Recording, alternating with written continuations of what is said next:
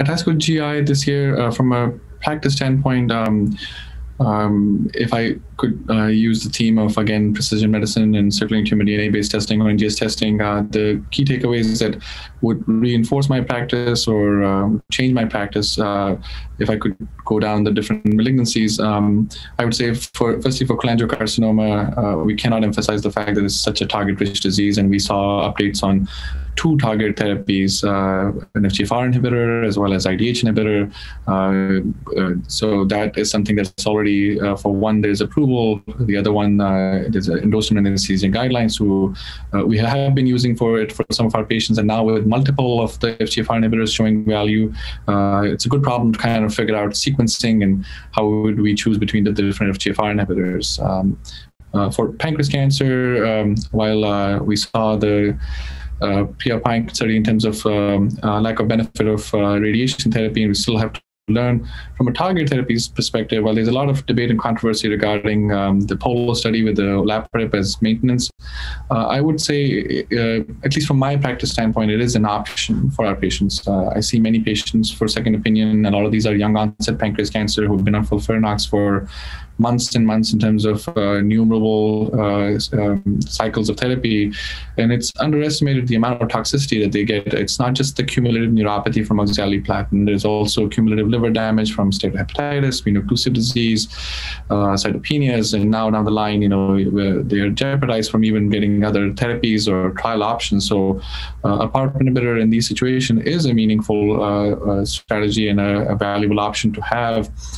Bear in mind, in, in real world, uh, you know, there's no placebo or break. So there's a lot of apprehension both from the physician as well as the patient to come off of uh, uh, um, uh, systemic chemotherapy for as aggressive as a disease as uh, pancreas cancer, which is very unforgiving. So in that scenario, that's where uh, the value of choosing a target therapy, which has improved quality of life. A lot of these patients have durable long-term outcomes, as well as it's a pill. you don't have to come for infusions every two weeks, which is even more pertinent in current times with COVID and avoiding unnecessary exposure and uh, keeps options open for a lot of these patients. Um, I think there's still to learn, but I would say it's still an option for our patients. And then uh, for upper GI cancers, uh, there's so much going on from an immunotherapy perspective. Uh, it's um, reassuring to see that in the NCCN guidelines, uh, both the frontline addition of Pembro for the ones who have CPS more than five, as well as the adjuvant uh, nivolumab for the ones who have residual disease post uh, the uh, chemoradiation for esophageal adenocarcinoma,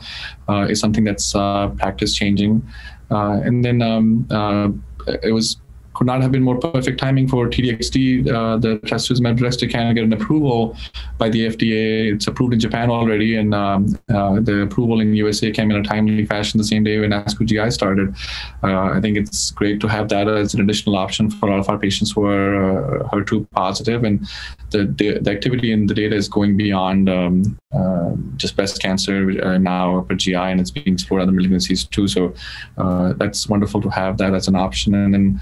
Uh, finally, a, um, a, different type of liquid biopsy, which is the, the, minimal residual disease bucket of liquid biopsies or circulating tumor DNA based testing platforms.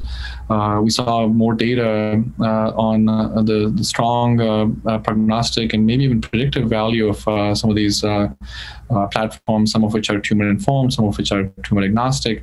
Um, again, um, we still have to learn a lot, and uh, it's important to kind of enroll in the ongoing trials. Uh, there's the bespoke study for stage two, three colorectal cancer, and there's the NRG study Cobra, which is for stage 2A.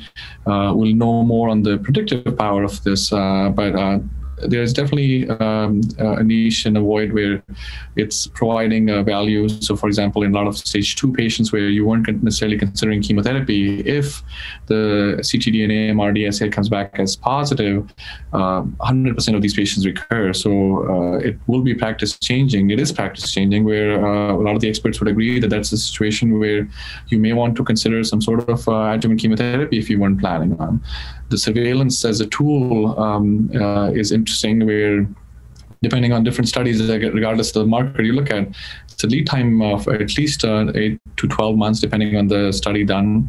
Again, we'll learn more from some of these trials, but um, uh, some of these tools are already uh, Medicare endorsed, and um, uh, the turnaround is less than four weeks for the initial assay, and then uh, pretty much the results come back in uh, one week. As one of my mentors and colleagues put it, it's like a supercharged CA biomarker uh, a better tool. I think I see its place. Uh, we still have uh, to again enroll in the ongoing trials. Cannot overemphasize that, but um, at the same time, there are situations even now in terms of practice where it, it could be considered.